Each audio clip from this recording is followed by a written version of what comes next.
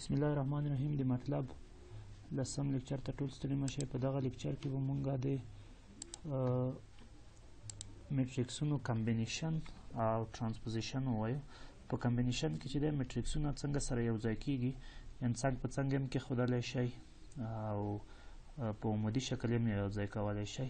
او په ترانسپوزیشن کې بیا د میټریکسونو کالم او رو څنګه سره بدلولای شو چې په یو میټریکس کې کالم وي هغه مونږ په رو بدل کو زه غواړم اول دغه د هغه موضوع تشریح کوم د کمبینیشن مثلا مونږ دوه میټریکسونه لرو دوه میټریکسونه یو د ا میټریکس دی چې هغه جوړ دی دی یو دوه درې څلور پنځه شپږ یعنی درې رو لري درې رو لري او دوه کالمه لري دغه دوه کالمونه دی او دغه درې روګانې دي او بل میټریکس دی د بی چې د هغې روګانې درې دي نهه اته اووه شپږ او پنځه څلور دغه یې درې روګانې دم لري او دوه کالمه لري زه غواړم دې نه یو نوی میټریکس جوړ کړم د سی میټریکس چې په دغه مټریکس کې په اول کې اولې رو کې د ای مټریکس وي او اولې رو اول کالم او اولې رو دویم کالم کې د بی مټریکس وي او په دویمې رو او اول کالم کې د بی مټریکس بیا وي او په دویمې رو او دویم کالم کې د ای مټریکس وي دې ته که فکر وکړئ د سی مټریکس نه د ای مټریکس که موږ دلته کېږدو دا به شي یو دوه درې څلور پنځه شپږ یعنی دغه ټول دی ای میټریکس شو او د بی میټریکس که مونږ څنګ کې ورسره کېږدو دا به شي نهه اته اووه اته پنځه څلور دا به د بی میټریکس شي د بی میټریکس د بل د دویمې رو په اول کالم کې هم ږدم دا به شي نهه اته اووه شپږ او پنځه څلور دا د بي میټریکس شو او د ای میټریکس بیرته دلته کېږي دا هم د ای میټریکس دی یو دوه درې څلور پنځه شپږ دا دی کوم میټریکس شو ای میټریکس شو دغه ټوټل دی چې شو چې د څلورو څلور ځله مو میټریکسونه تکرار کړل دغه دی سی میټریکس شو موږ څنګه کولی شو چې دغه هغه کو وکړو راځئ دغه مطلب کې څه رقم کوو زه په مطلب کې یو هغه اخلم میټریکس اخلم د ای یو په نامه ای خا ای خا کوچنی ای به ولیکم ای یو مساوي کیږي د یو یو یو یو یو بیا یو یو یو دا یو میټریکس کوم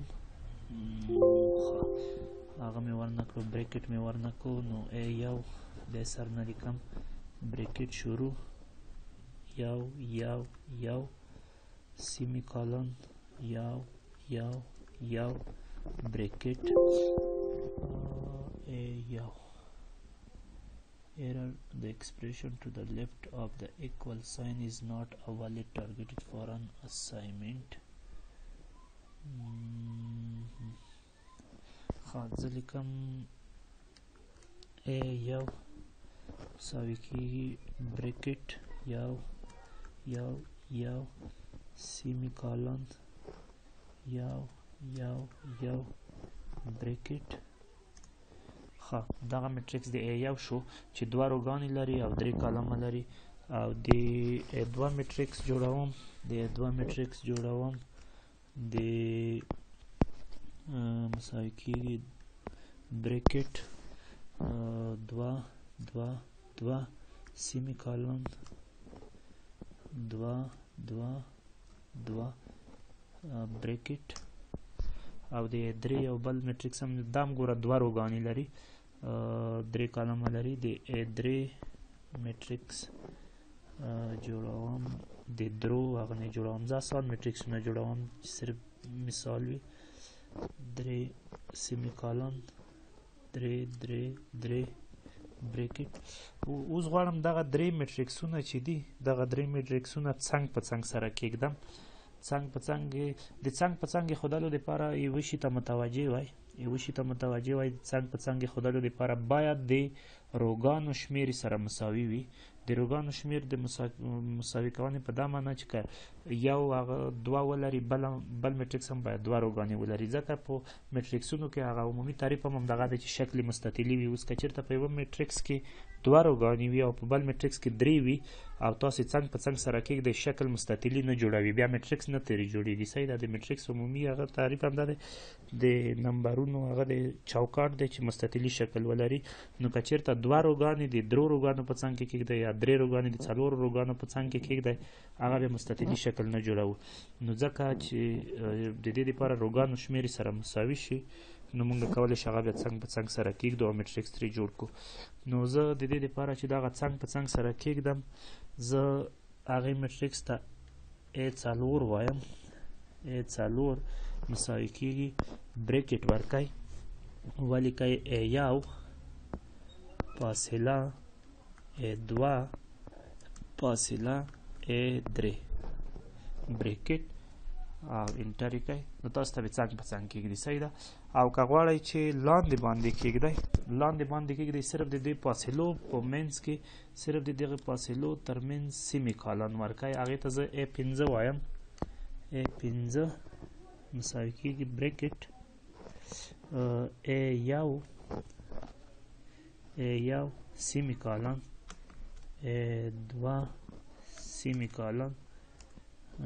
ای درې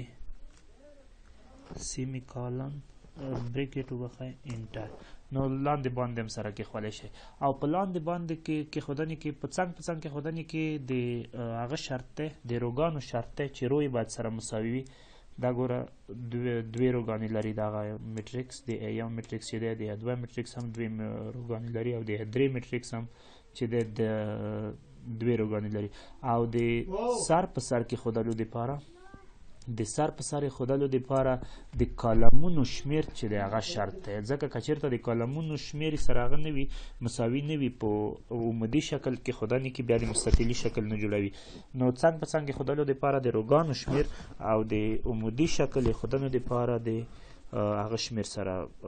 ضرور دی د کالمونو شمیر صحیح ده که کالمونه بیا سره هغه نه وي مساوي نه وي ایریر درکوي مثلا درته وایي چې ډایمنشن اف د میټریکس ار ناټ کنسیسټنټ دا معنا چې کوم چې دی هغه میټریکس ډایمنشن دی یا اندازه چې دی هغه هغه نه دی سمه نه دی په هغه کې په ایښودنو کې نو په هغې باندې تاسو پراکټیس وکړئ مثلا جوړ کړئ یو میټریکس جوړ کړئ چې دوه کالمه ولري بل مټریکس جوړ کړئ چې درې کالمه ولري بل جوړ کړئ چې څلور کالمه ولري او تاسو بیا وازمویئ چې کیږي که نه کیږي او په ترانسپوزیشن کې موضوع چې دی په ترانسپوزیشن کې په ترانسپوزیشن کې موضوع دی هغه دی په ترانسپوزیشن کې یو میټریکس رو چې دی په کالم اوړي او کالم په رو اوړي مثلا د اچ یو میټریکس دی د اچ یو میټریکس دی چې دی یو دوه درې څلور پنځه شپږ مونږ چې کله دا دا دغه ګوره که متوجه شي دا دوه په درې کې میټریکس دی دوه په درې کې میټریکس څه معنی چې دوه یې روګانې دي او درې کالمونه دي صحیح دی درې کالمونه دي دا په دغه کې مټریکس دی مونږ کله چې دا هغه کو ترانسپوزیشن کو نو دغه نه یو بل هغه جوړیږي چې هغه ته که زه جی وایم هغه مټریکس ته هغه د اچ پرایم اچ پرایم یا اچ زبر سره مساوي دی اچ پرایم دی علامه ته پرایم یایي کنه اچ پرایم یا اچ زبر سره مساوي دی او دغه د جی کوم میټریکس چې دی هغه به دغه رقم شکل شي دلته چې کومه رو ده دلته چې کومه رو ده هغه په کالم بدلیږي داسې کیږي چې یو دوه درې او دغلته چې کومه رو ده دغه ته چې کومه رو ده هغه په دویم کالم بدلیږي یعنی اوله رو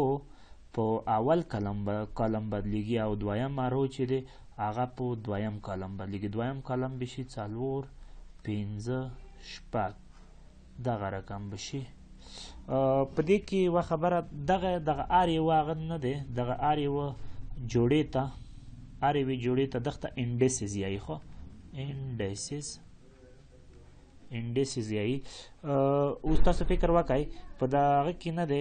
په دې کې دغه یو څلور چې دی یو څلور په رو بدل شو په اول رو دلته اول کالم دی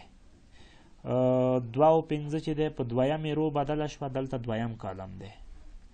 او درې او شپږ چې دی په دریم رو بدل شو دلته دریم کالم دی صحیح ده د انډیسز ځایونه په د ترانسپوزیشن نه وروسته بدلیږي مثلا په جی کې په جی کې چې کومه د دویمې رو او اول کالم کوم عادت وو په جی کې د دویمې رو او اول اول کالم کوم عادت دی دویمه رو اول کالم دغه عادت دی کنه دوه دوه دا په اچ کې چې وو په اچ کې چې وو اوله رو وه او دویم کالم وو دویم کالم وو او دلته هم دا دا عدد خو دلته دوه دی په جي کې په جي کې دوه دی تاسو په اچ کې وګورئ دغه د کالم او د رو ځای بدل شو دلته چې دویمه رو وه هغه دویم کالم ته ځي او دلته چې اول کالم هغه اولي رو ته ځي اول کالم و هغه اولي رو ته ځي اوس په اچ کې تاسو د اول کالم او دویم رو کې د اول رو او دویم کالم قیمت وګورئ اوله رو دغه دی او دویم کالم دغه دی دغه دوه قیمت د دغه دوه قیمتونو د انډیسز ځایونه سره بدل شو او د انډیسز هغه په ریاضیکي شکل دا شی ښودلی شئ چې اچ زبر که دغه هغه ته زه اچ زبر ووایم د اچ کوم ترانسپوزیشن میټریکس چې دی یعنی اچ اصلي میټریکس وي او د ترانسپوزیشن ته چې واړوم هغه به اچ زبر شي په هغې کې ام او ان چې وو د دویمې ام او ان یعنی دغه رو وه او دا کالم او دا کالم دا به مساوي وي په اچ کې چې دی دا به په اچ کې د ان او ام سره مساوي وي یعنی دا غلطه چې کوم رو وه د هغې هغه کالم ته ځي یا دلته چې کوم کالم وو دلته چې کوم کالم وو هغه رو ته راځي او دلته چې کومه رو وه هغه کالم ته ځي په ریاضیکي شکل دا رقم دی راځئ په هغه کې وکړو په مطلب کې وکړو چې مطلب کې څه رقم کېږي زه په مطلب کې یو هغه جوړوم میټریکس جوړوم د ایچ د ایچ میټریکس جوړوم ورته وایم چې ما ته یو دوه درې خو هغه مې بریکټ مې شروع نه کو بریکټ شروع نه کې نه کوي یو دوه درې څلور څلور پنځه شپږ دغه یو میټریکس دی دغه میټریکس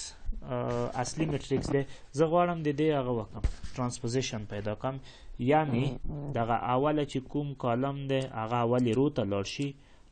دویم چې کوم کالم دی هغه دویم رو ته لاړ شي او دریم چې کوم کالم دی هغه دریم رو ته لاړ شي نو ورته وایم چې اچ زبر اچ مساوي کیږي د اچ زبر سره خو یا به هغه ورته وایم جی میټریکس ورته وایم دغه نوی میټریکس ته جی مساوي کیږي د اچ د پرایم نخه دغه اشاره ده کنه انټر کوي نو دغه میټریکس درته جوړ شو دلته چې کوم اول کالم وو یو څلور دلته اول رو ته راغو دلته چې کوم دویم کالم وو دلته دویمې رو ته راوه دلته چې کوم دریم کالم و درې شپېږ هغه درېیمې رو ته له او همدغه رقم دا دلته چې کومه اوله رو وه هغه اول کالم شو دغه دی یو دوه درې او دلته چې کومه دویمه رو وه څلور پنځه شپېږ هغه دویم کالم ته راغله نو دغه لیکچر تر همدغه پورې بس دی بل لیکچر موضوع د میټریکسونو عملی دی مننه